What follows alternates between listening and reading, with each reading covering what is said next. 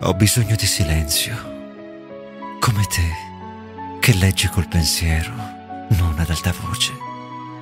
Il suono della mia stessa voce adesso sarebbe rumore, non parole, ma solo rumore fastidioso che mi distrae dal pensare. Ho bisogno di silenzio.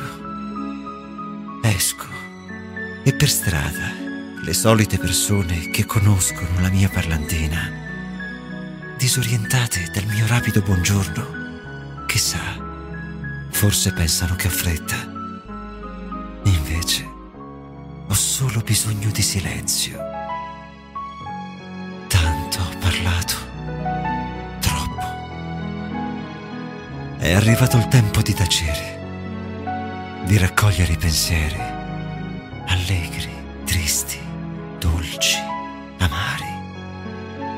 Ce ne sono tanti dentro ognuno di noi.